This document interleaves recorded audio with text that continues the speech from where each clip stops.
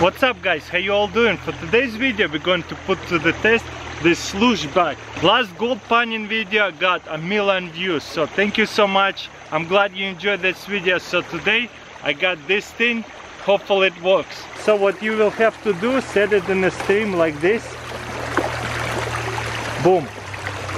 And find pretty big rock to set it like that. And then I already got some material. What we're going to do is just feed it right here and you see how water washing everything off. It will have to be four inches drop off. And this is how it works. We slowly add on a little bit of material. And that's what we're going to continue doing. Slowly add on more material. Just like this. Next step what I'm gonna do is unscrew this bolt course don't lose it. And then pull this part out.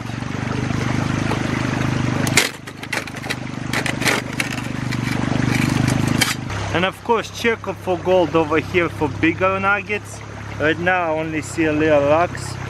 That's it. I don't see any actual gold. So then I'm just gonna pull up this mesh wire. And then what I'm supposed to do is take up this whole part out there you go. And then grab a bucket fill it up with water and then we're just going to dump all this dirt in here. You see how it's ripples? So hopefully the gold will get stuck inside of it oh by the way also leftovers right here you wanna grab it right here and wash it into the bucket as well in case there's gold get stuck. And then put it back together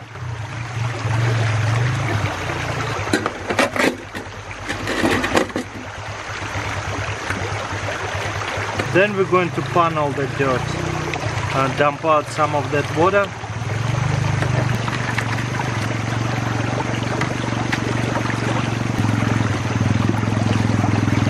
And you know how to pan, same thing as like last video.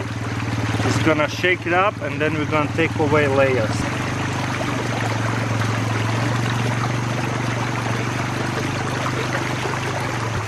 Okay, now we only have a little bit sand left.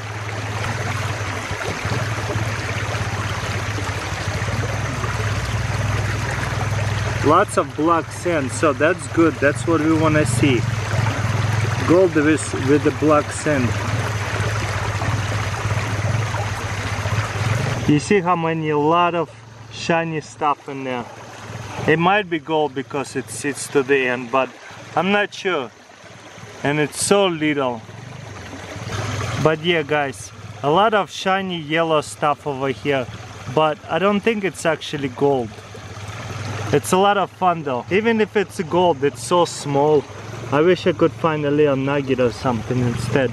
Okay, I'm gonna do this one more time. We'll see if we're going to get anything again. You see it slowly washes off all the big rocks.